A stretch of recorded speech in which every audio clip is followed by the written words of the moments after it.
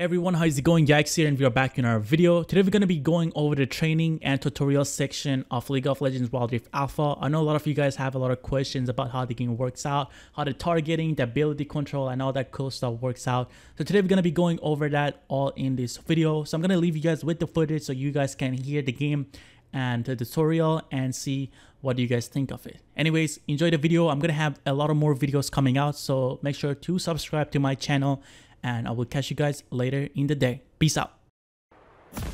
Welcome. Hold and drag the movement stick to make your champion good. Please proceed to the next waypoint. Here are some enemy minions. Tap to attack. Tap to learn. Use this attack to attack. Defeat the enemy siege minion. Tap to learn. Use this ability to attack surrounding. Tap to learn. Use the tap to attack. Defeat the enemy minions. Level up, follow the arrows. Enemy minions are attacking. Defeat them. Tap to learn your champions can learn their ultimate ability at level 5. Garen's ult does more damage as the enemy champion's health gets lower. Using your ult properly is the key to victory. New mission. Defeat the enemy champion.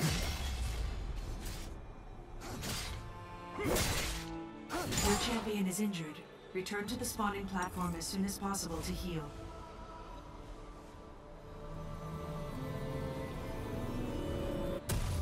Using recall can quickly return you to the spawning platform. The fountain there will regenerate your champion's health. Destroy the enemy nexus to achieve victory. Turrets deal massive amounts of damage. Avoid attacking the turret alone. Tap to purchase items. Our minions are moving to attack. Follow them and push forward.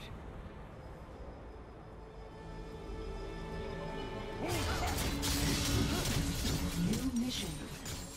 Destroy the enemy turret.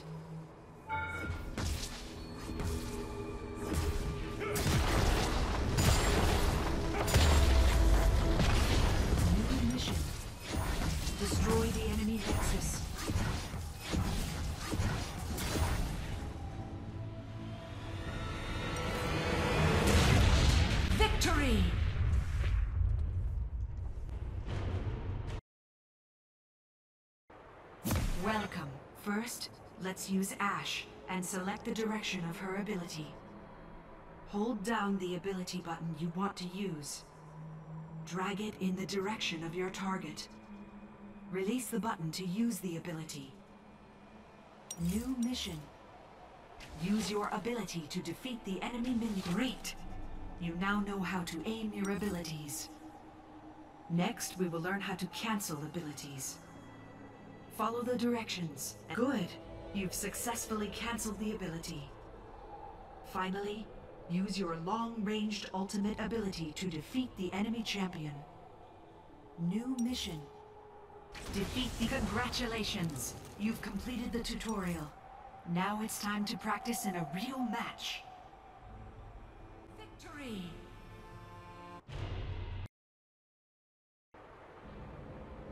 Welcome to the Target Lock tutorial. First, let's review how the attack button works. Tapping the attack button prioritizes attacking an enemy. If there are multiple enemies in range, it prioritizes the one with the lowest percent health. If you want to prioritize attacking minions or turrets, tap the minion or turret button. Let's try. You can also manually select a target to lock onto. Drag the attack button to lock on to an enemy target. Target locked. Try locking onto the enemy so while locked onto a target, attacks and abilities will automatically prioritize it. Let's try tap. Look, it automatically casts at your locked target. But how do you unlock from a target? You can either drag the attack button to the cancel button or tap the minion or turret button to force a target swap. Let's try it out. Target unlocked. Now, let's try it in a real battle. Help the ally Garen defeat the enemy Tryndamere and Soraka.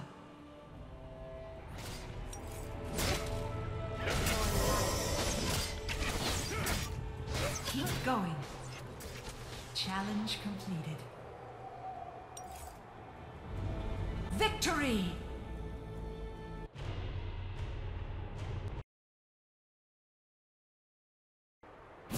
Welcome. Here you'll learn tapping your attack button will prioritize enemy champions within range. Use the minion button to attack enemy minions. New mission. Defeat the enemy minions.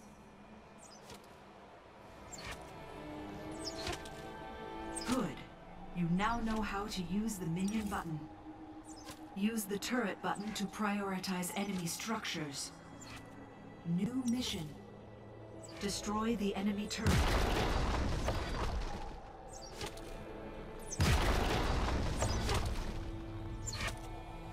Good. You now know how to use the turret button. Congratulations! You've completed the tutorial. Now it's time to practice in a real match. Victory! Welcome. Here you'll learn to use the portrait. Next, let's learn how to lock on to enemy targets. Tap on the enemy champion's great. You've successfully locked on to the enemy champion. Now your attacks will target the champion you've locked onto. Now your abilities will target the champion you've locked onto. Next, let's learn to cancel the lock-on. Tap on the locked good. You've successfully cancelled the lock-on. Now, defeat Ashe using the portrait lock feature.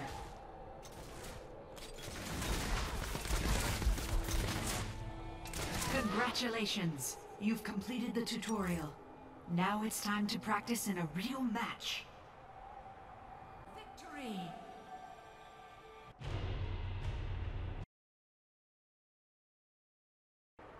Welcome. Here you'll learn about turrets. Turrets will prioritize the first enemy that enters their attack range. You will take heavy damage if you attack a turret by yourself. Let minions take damage for you. Minions are taking the turret's fire. Now is the time to attack. When you go near a turret, you will see one of three colored circles on the ground. The colors indicate how the turret will behave. Green. The turret is attacking other units. You won't be attacked if you enter its range. Yellow.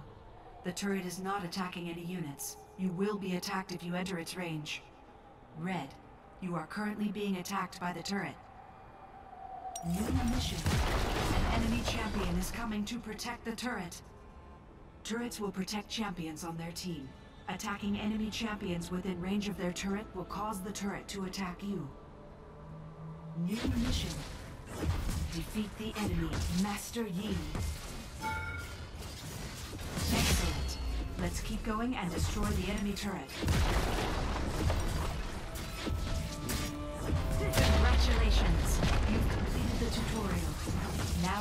To practice in a real match.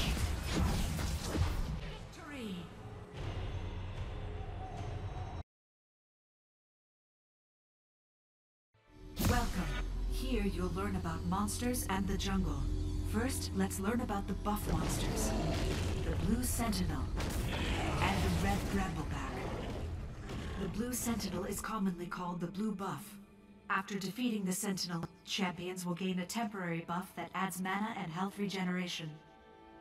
The Red Brambleback is commonly called the Red Buff. After defeating the Brambleback, champions will gain a temporary buff that adds true damage and slow to their attacks. Follow the arrows on the ground and attack the Blue Sentinel.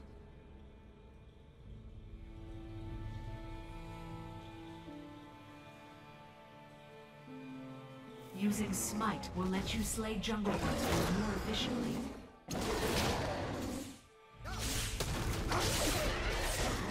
Well done! You've successfully defeated the Blue Sentinel and gained the Crest of Insight buff. Next, follow the arrows and attack the Red Brambleback.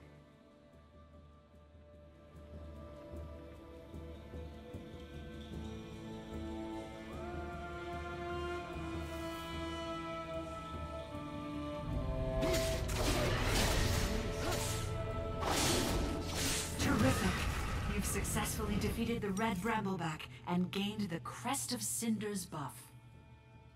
Next, let's learn about the Rift Scuttler. Rift Scuttlers will spawn after the game begins, one in each half of the river. They will respawn shortly after being defeated. After a Rift Scuttler is defeated, it spawns a Speed Shrine in the river. The shrine grants an area of effect movement speed buff and vision to allies. Follow the arrows and attack the Rift Scuttler.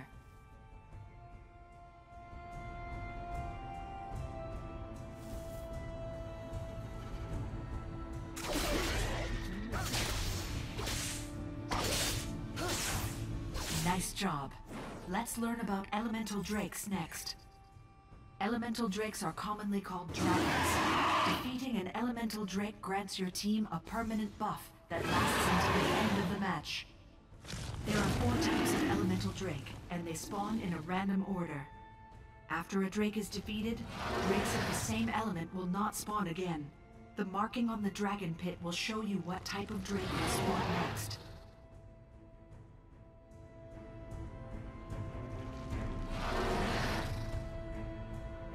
New mission. Defeat the elemental drake.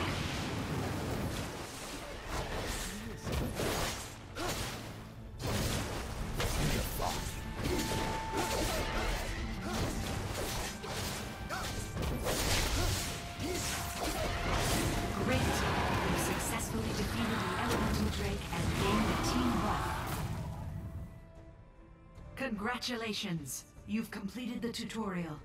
Now it's time to practice in a real match. Victory!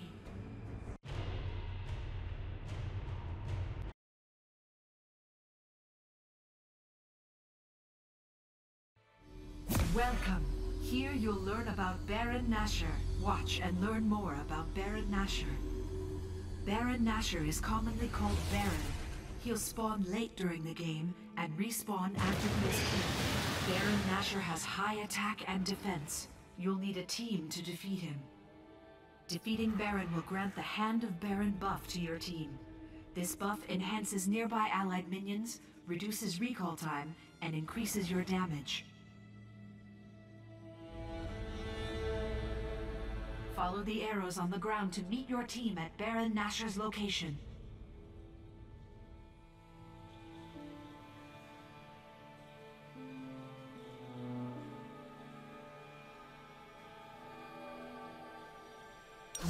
Mission. Help your team defeat Baron Nashor.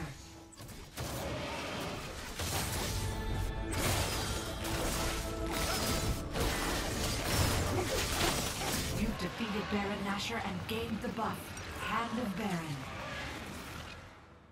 Now follow the arrows on the ground into the mid lane to buff your minions.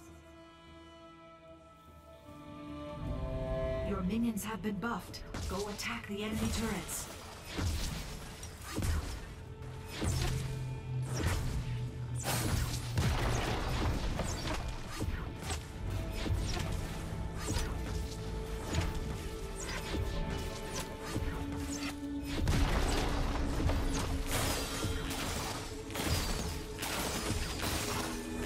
Congratulations!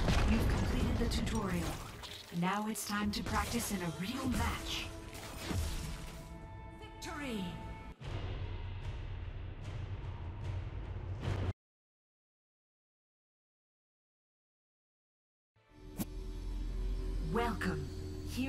In this match, you will start the game in the top right corner of the map. For your convenience, your point of view will automatically rotate.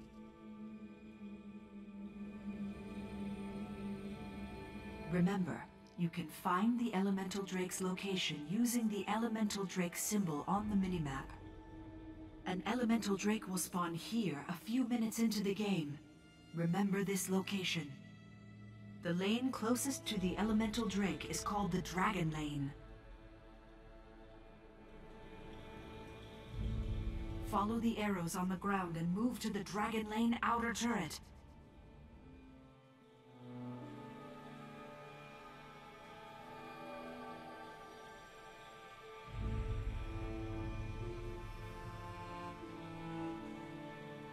Watch out. An enemy champion is at the outer turret. New mission. Defeat the enemy champion.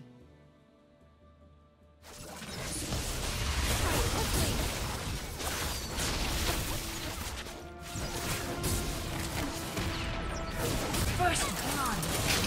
Enemy slain. Our jungler is attacking the elemental drake. Go help. Go to the elemental drake spawn point and help the jungler to new mission.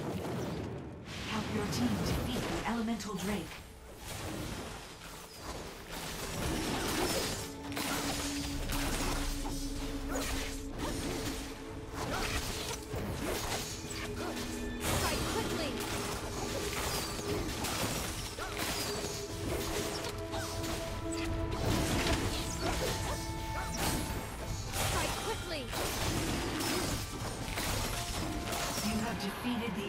Drake.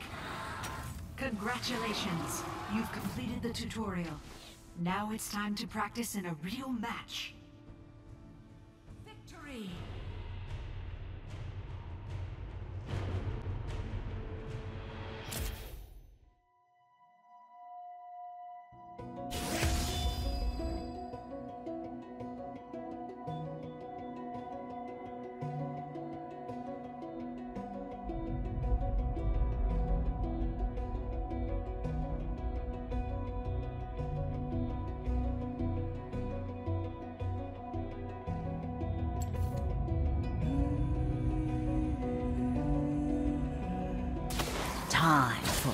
Reckoning.